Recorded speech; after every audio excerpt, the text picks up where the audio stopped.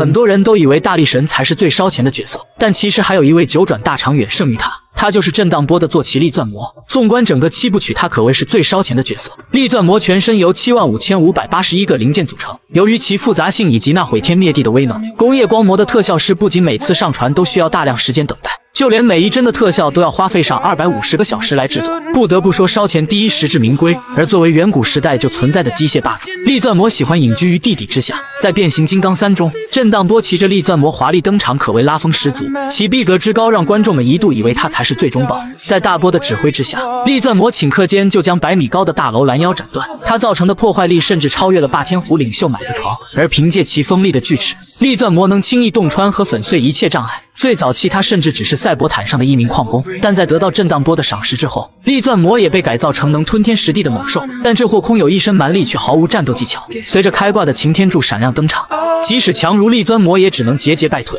最终被柱子哥一剑穿心。